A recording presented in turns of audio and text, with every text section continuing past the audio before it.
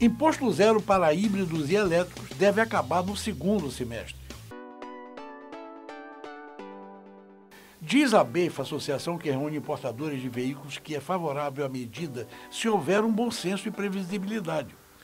O presidente da BEIFA, João de Oliveira, afirmou que o imposto zero para híbridos e elétricos já tem data para acabar. A partir da segunda metade do ano, a alíquota diferenciada chegará ao fim, segundo a entidade que representa os importadores de veículos. Nossas conversas com o governo indicam que isso deve acontecer já a partir do segundo semestre, declarou o executivo. Curiosamente, a associação não se mostrou contrária ao fim da alíquota zerada. Porém, João ressaltou que é preciso cautela no processo. Estamos discutindo com o governo qual será a alíquota máxima que será adotada.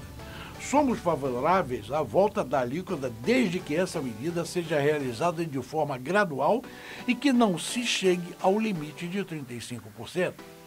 Apresentamos algumas sugestões, como um teto de 20% e algo em torno de 2% ao ano para veículos elétricos, 4% para híbridos e até 7% para veículos híbridos leves.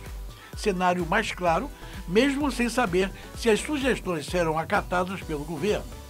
A BEIFA diz que o importante é saber quais serão os próximos passos.